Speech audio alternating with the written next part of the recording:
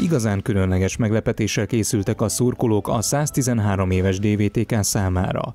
A születésnap megünneplésére a hámorító környéke piros fénybe borult.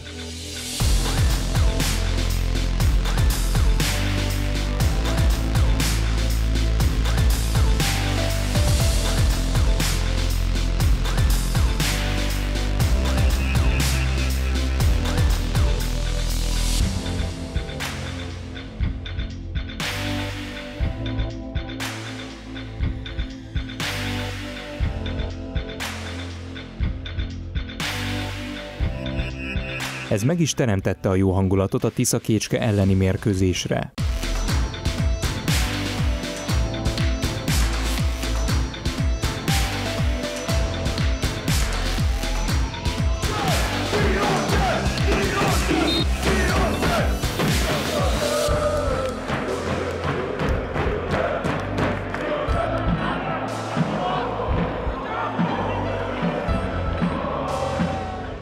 Viszont nem csak a szurkolók készültek egy szülinapi meglepetéssel. 19 óra 10 perckor jött a következő látványosság.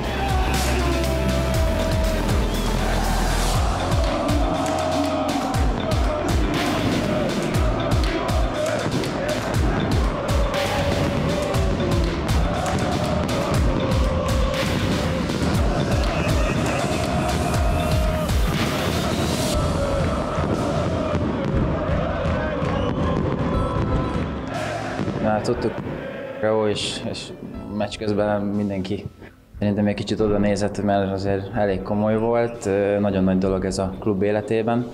Örülök, hogy én is részese lehettem. Szerintem pozitív hatása van a csapatra, ez mindenféle koreográfia. A tűzjáték kifejezetten nagyon jól esett így a csapatnak, nagyon hangos volt, nagyon látványos, tökéletes volt.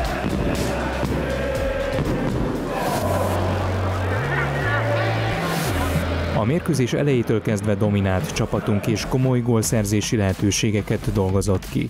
Bárdos Bencének is volt egy kapura tartó fejese, de Könyves Norbert is eltalálta a keresztlécet.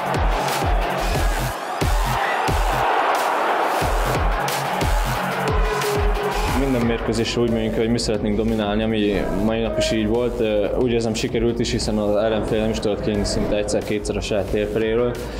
Igen, a szögletek most elég jól sikerültek, hiszen most új variációt talált ki a mester, ami szerintem nagyon jól sikerült.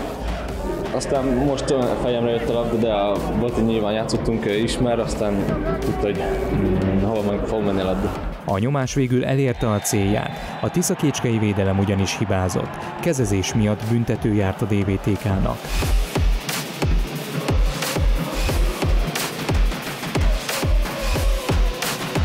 Házigól királyunk Lukács Dániel állt a labda mögé, és szerencsére nem hibázott.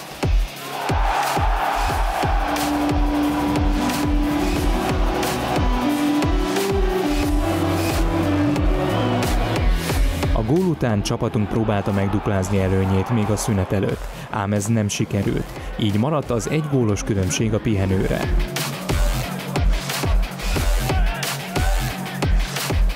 Természetesen a pálya volt az elsősorban nehéz dolog már, mert ahhoz, hogy fölénybe kerülj, ez egy másodperc alatt el kell indulni, meg kell állni, változtatni az irányt, be kell, ezt mind lehetetlen volt szinte megcsinálni ezen a pályán, és, és tényleg hát miértünk mérkőzés előtt mínusz három volt a felső réteg a földnek, szóval ez, ez, ez egy jégszerűség. Hát más nem beszéltünk így játékminőségről, hanem tényleg az volt, hogy, hogy meg kellett uh, szenvedni ezért a gólért.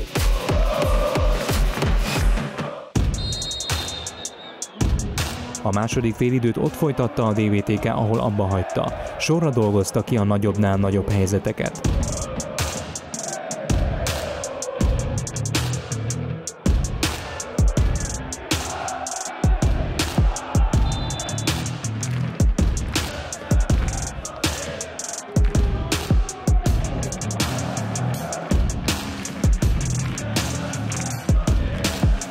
Konkrétan két sorba védekeztek, és ott a két sor között nagyon kevés kis területek voltak. Nehéz volt, ha meg tudtuk találni ott az üres passza felpasszokat, akkor abból voltak ráfordulási lehetőségek, de egyből körbevettek többen is. szélén esetleg többet kellett volna bontani, hogyha tudtunk ott elmenni és abból bepasszok, vagy, vagy abból támadást építeni, akkor úgy több lehetőségünk volt. A mérkőzés végén a vendégek próbáltak nyomást gyakorolni csapatunkra, de a védők és persze Branislav Danilovics jól állta a sarat.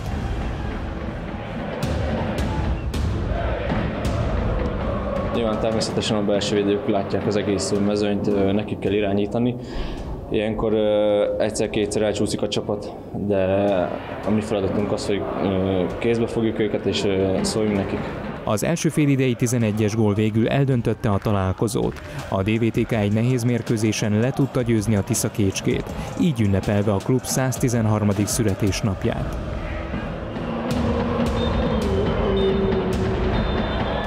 Azon kívül, hogy elmondtam meccs előtt, és most nem a, inkább a játék minőségről lenne szó, hanem a közdelmi és a, a harci a dolgok lennének elsősorban. Ide már terveztünk, hogy, hogy egyszerűsített játékot fog játszani az ellenfél.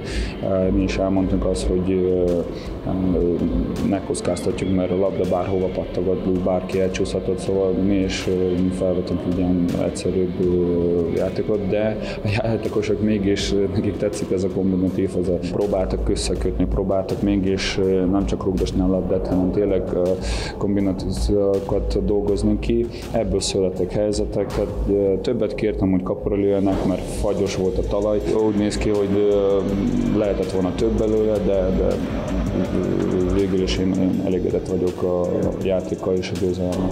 Úgy érzem, hogy nagyon fontos három pontot szereztünk egy nagyon nehéz mérkőzésen, hiszen a körülmények nem voltak épp tökéletesek, de a csapat harcolt keményen, és be tudtuk gyűjteni három pontot.